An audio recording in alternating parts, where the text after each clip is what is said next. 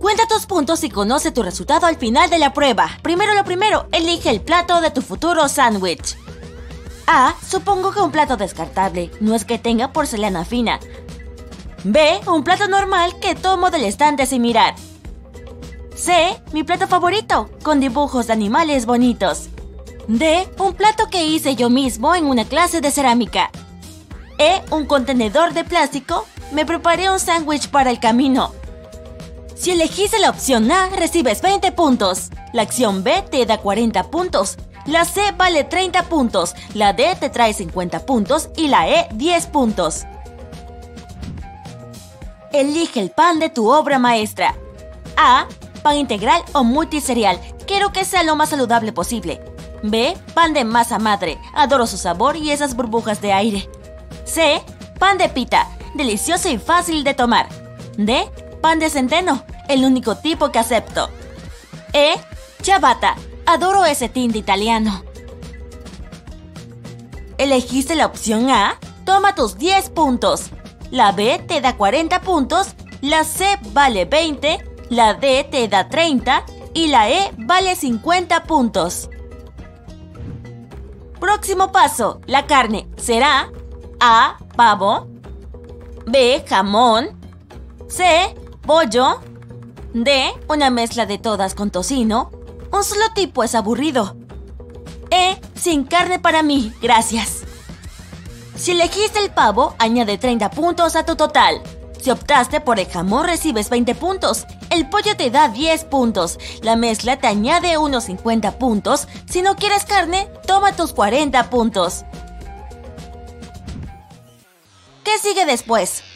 A. Una rebanada de queso. Me gusta tanto que lo agrego a cualquier cosa.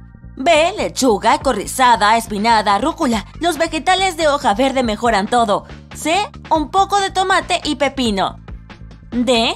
Otra capa de carne y otra más encima de esa. E. Fresas. Me gustan las combinaciones originales. La opción A le da 20 puntos a tu total. La opción B te trae 40 puntos, la C vale 10 puntos y la D 30 puntos. La E te trae 50 puntos. Hora de agregar la salsa. ¿Qué elegirás? A. Salsa barbacoa, mientras más picante mejor. B. Aderezo César, se lo agrego a todo. C. La clásica mayonesa, queda bien con cualquier comida. D. Vinagre balsámico, elegante y saludable. E. Mermelada de arándano. De hecho, cualquier mermelada servirá. Los fanáticos de la salsa barbacoa reciben 40 puntos. Si preferiste el aderezo César, toma tus 20 puntos. La mayonesa te da 10 puntos. El vinagre balsámico te traerá 30 puntos y la mermelada de arándano agrega 50 puntos a tu total. Aún se siente incompleto. ¿Agregamos más cosas? A. Chiles. Me gusta que sea picante. B. Pepinillos crocantes y crujientes. C. Queso asado, mientras más mejor. D. Cebollas rojas. E. Creo que estoy bien. Ese sándwich ya se ve apetitoso. Los chiles te traen 30 puntos, los pepinillos te dan otros 10 puntos, el queso asado vale 40 puntos, las cebollas rojas valen 20 puntos. Si no elegiste nada, recibes 50 puntos. Se ve bien. ¿Cómo lo cortarás? A por la mitad. B en diagonal. C los transformaré en pequeños triángulos. D no lo cortaré, ya es perfecto. E haré formas raras con un corta galletas. ¿Elegiste la opción A? Añade 40 puntos a tu total. La opción B te da 10 puntos. La opción C vale 30 puntos. La D te trae 20 puntos. Y la E vale 50 puntos. Espera, ¿Crees que será suficiente? Agrega algún acompañamiento. A. Papas fritas. No puedo pasar un día sin ellas. B. Mi mezcla especial de pimientos en escabeche, jalapeños, zanahorias, coliflor y cebollas. C. Un poco de helado. Pruébalo antes de decir guácala. D. Unos aguacates frescos y maduros. E. Nada, no tengo tanta hambre. Los fanáticos de las papas fritas reciben 20 puntos. Los que eligieron una mezcla de todo reciben 40 puntos. El helado te da 50 puntos, los aguacates valen 30 puntos. Si no quieres agregar nada, recibes 10 puntos. tal una bebida para acompañar tu sándwich? A. Claro. Quiero un refresco. B. Con un vaso de agua bastará. C. Prefiero un jugo de naranja recién exprimido. D. Café. No me canso de él. E. Creo que paso. Gracias. Si elegiste la opción A, añade 10 puntos a tu canasta. La opción B te trae 50 puntos. La opción C vale 40 puntos. La D te da 20 puntos. Y la E vale 30 puntos. Todo listo. ¿Dónde comerás tu sándwich? A. En la cocina. No quiero migajas de pan por toda la casa. B. En el porche o el balcón. Me gusta comer afuera, aunque haga mal clima. C. En un parque cerca. Ir a caminar y comer en el camino. D. En la sala frente a la televisión. E. En mi escritorio mientras trabajo. Nunca tengo tiempo para comer adecuadamente. Si prefieres comer en la cocina, hay 20 puntos en camino. Si elegiste el porche o el balcón, recibes 30 puntos. Los que eligieron el parque cercano reciben 50 puntos, la sala te da 10 puntos y el escritorio añade 40 puntos a tu total. Tu compañero entra y te pide que le compartas tu deliciosa comida. ¿Qué haces? A. Compartiré con él, claro. Él siempre comparte conmigo. B. No tiene que pedir. Preparé dos sándwiches para que comamos juntos. C. Hmm. No, no comparto comida. D. Le compartiré, pero tendrá que lavar los platos por una semana. E. Puede preparar el suyo y acompañarme en el paseo que voy a tomar. La opción A te da 50 puntos. La B vale 30 puntos. La C vale 10 puntos. La D te trae 40 puntos. Y la E vale 20 puntos. Imagina que aceptaste compartir un sándwich con tu compañero de piso. ¿De qué hablan mientras comen? A. De mi nueva relación. Mis asuntos personales nunca son un secreto. B. De trabajo o la escuela. No somos tan cercanos. C. De nuestros planes para el fin de semana. Nos gusta pasar mucho tiempo juntos. D. De deportes o música. Disfruto de nuestras discusiones acaloradas. E. De clima. Solo somos compañeros de piso. No somos mejores amigos ni nada. Los que eligieron la opción A reciben 50 puntos. Si elegiste la opción B recibes 30 puntos. La opción C te trae 40 puntos. La D te da 20 puntos. Y la E vale 10 puntos. Hora de sumar tus puntos y descubrir cuál es tu mayor miedo. Si tienes de 120 a 210 puntos, le temes a la oscuridad. Bueno, a la oscuridad en sí no te da miedo. Lo que te asusta es lo desconocido. Lo más probable es que también te den miedo el futuro y las situaciones impredecibles. No te gustan las sorpresas, prefieres seguir un plan o algo similar. Tienes una imaginación súper rica y vívida.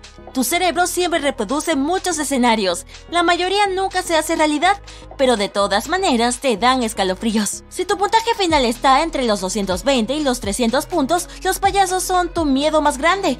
Esto es porque su maquillaje brillante y sus sonrisas esconden sus verdaderas intenciones. No soportan las mentiras y las cosas absurdas. Eres sincero y honesto contigo y con los demás y esperas lo mismo del resto. Aceptas las cosas como son y eres realista con respecto a tu futuro. Siempre eres cuidadoso cuando conoces gente nueva.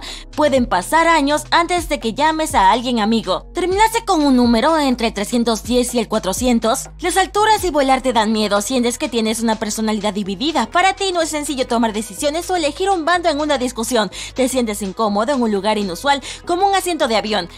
No te gusta que los demás estén a cargo de la situación, sobre todo cuando tu vida depende de ello. Eres precavido y evitas tomar riesgos. Esto es para los que terminaron con un número entre el 410 y el 500. Las serpientes son tu mayor miedo. El verdadero miedo detrás de esto es que tus seres queridos corran peligro. Estás profundamente atado a tu familia y tus amigos cercanos, darías todo por ellos. Eres atento, desinteresado y súper confiable. Es probable que alguien se haya aprovechado de eso en el pasado, así que aprendiste la lección y ahora eres más cuidadoso. Si tu puntaje final es de 510 a 600 puntos, le temes a la soledad, eres sociable y despreocupado. Siempre eres el primero en acercarte a la gente nueva y disfrutar de ser el alma de cualquier fiesta. La idea de estar solo, aunque sea por un momento, te aterra. Una razón posible es tu falta de confianza en ti mismo. Es probable que necesites la aprobación de los demás para lograr tu bienestar. Enfócate en ti mismo. Tú también importas. Tienes 5 segundos por pregunta. Comencemos. ¿Qué se te viene a la mente cuando ves esta imagen?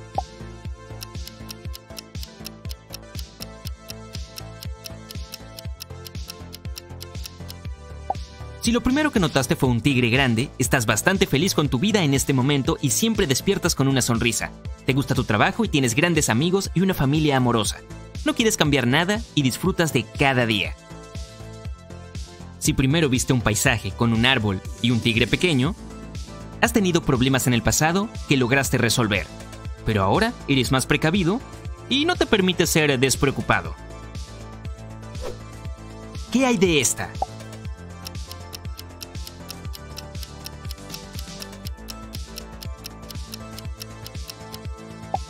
Si viste un hermoso paisaje dorado con cascadas, probablemente estás un poco aburrido en este momento. Todo parece estar bien, pero te faltan emociones y aventuras intensas. Prepara un nuevo platillo o compra ropa que nunca habrías usado antes. Si viste una joven primero, parece que últimamente has estado un poco abrumado. Intentas estar un paso delante de los demás en el trabajo, en tus pensamientos y en tu vida personal. A veces no está mal regalarte un descanso y disfrutar de la vida a tu propio ritmo. Si los animales escondidos en el paisaje llamaron tu atención, estás bastante feliz con tu vida, pero tu mente suele deambular hacia otros lugares. Repasas diferentes situaciones en tu cabeza donde vives una vida distinta, una vida que podría ser incluso mejor. Prueba a ser una de las cosas que hayas soñado desde hace tiempo. Continuemos. ¿Qué ves aquí?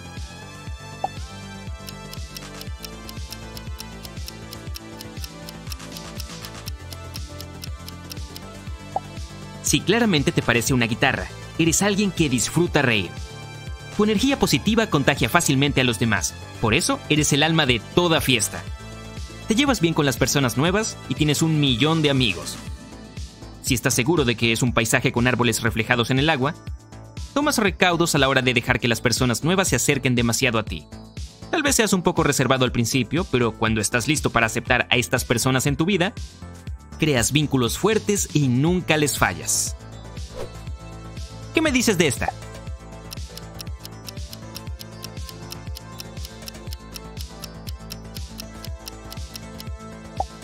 Los que ven un pez enorme de ojos amarillos respetan las reglas y se sienten incómodos cuando deben romperlas.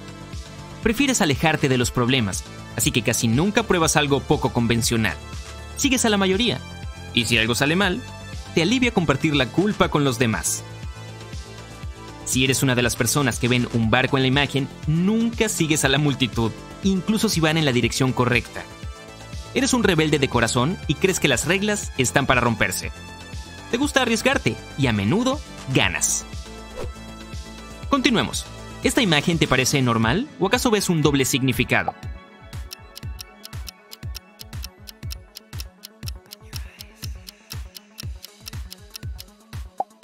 Los que vieron unas cuantas ovejas y un lobo se adaptan fácilmente a los cambios de la vida. Aceptas el hecho de que nada dura para siempre y siempre miras el lado genial para encontrar aspectos positivos en absolutamente todo. Esto te ayuda a seguir adelante y guardar energía para cosas más importantes que unas preocupaciones. Los que vieron un lobo grande y uno pequeño tienen problemas para separarse de personas, lugares y situaciones. No te gustan los cambios, te confunden por más que las cosas no sean perfectas, prefieres dejarlas como están porque ya estás acostumbrado a ellas. A veces solo tienes que dejar que las cosas sigan su rumbo y eso te ahorrará muchos nervios. ¿Qué me dices de esta?